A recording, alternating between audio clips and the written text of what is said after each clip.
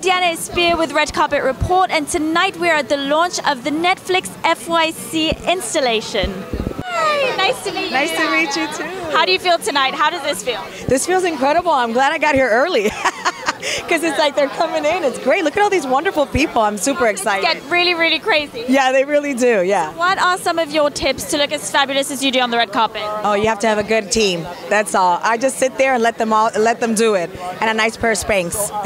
do you have an input? Do you tell them like I want to wear this or I want to wear that? No, I, I do with with the people. I have an input, but you know I'm pretty conservative, which doesn't look like it today. So they have to kind of force me sometimes, you know. So yeah, I listen to them. That's amazing. How do you feel about the audience's response to you, the show? Did you think it was going to get this big? You know, Netflix is still rather new in TV. Yeah, I knew that it was a good show, but no, I did not think the response was going to be as great as the response was, and I'm so happy that it was.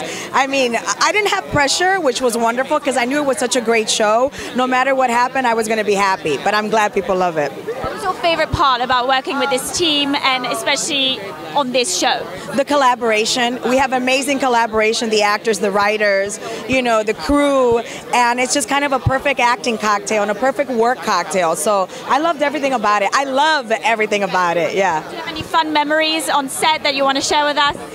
Um, you know, well, Rita stories. You know, Rita Moreno has like the classic, legendary stories. So just to sit there and listen to all her, you know, her little, her back back in the day Hollywood, that's amazing. Okay. And what were some of your most difficult parts about your role? How do you feel like you've dealt with the challenges of your role?